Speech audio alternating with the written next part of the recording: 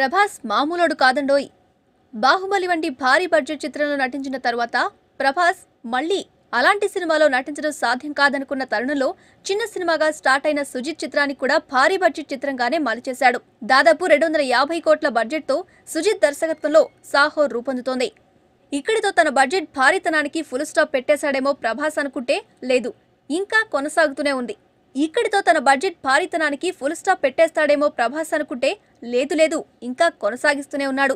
బాహుబలి తర్వాత మూడో చిత్రంగా వస్తున్న జిల్ ఫేమ్ రాధాకృష్ణ ప్రభాస్ మూవీ కూడా భారీ బడ్జెట్తోనే రూపొందుతోందని తాజా పరిస్థితుల దృష్ట్యా అర్థమవుతుంది. అసలు ఇంతకీ ఆ తాజా పరిస్థితులేంటి? ఈ సినిమా కోసం హైదరాబాద్లో ఓ భారీ సెట్ను నిర్మిస్తున్నారట.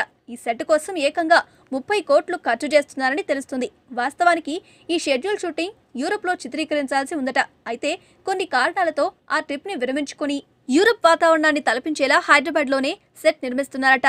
గోపికృష్ణ మూవీస్తో కలిసి పీవీపీ బ్యానర్లో ఈ సినిమా రూపొందుతోంది. జాన్ అనే టైటిల్ పరిశీలనలో ఉంది. పూజా హెగ్డే హీరోయిన్గా నటిస్తోంది. పంతొమ్మిది వందల డెబ్బైల నాటి ఫేల్ గుడ్ రొమాంటిక్ మూవీ ఇది. ఓవైపు సాహో సినిమాలో నటిస్తూనే సమాంతరంగా జాన్ లోనూ నటిస్తున్నాడు ప్రభాస్.